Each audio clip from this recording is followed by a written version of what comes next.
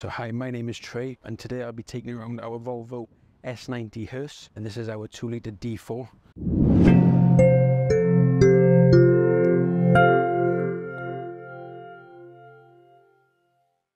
Um, if I just show you around, this is one of two that we have. We also have a Volvo V70 hearse, which is in our old fleet. This is our new fleet. We also have removable decks just so we can also have if the minister wanted to travel with us these also remove just so the minister can also sit with us if needed or we he did extra bearers.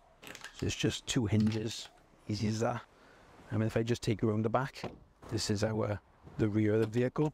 This is the deck also with the rollers. And underneath them we just keep our trolley just so if we go into church anything else we also then have grippers different various sizes just for all the flowers to go on the side or on the coffin. This is uh, one of my favourite hearses in the fleet, um, only because it's new and it's the one that I drive all the time.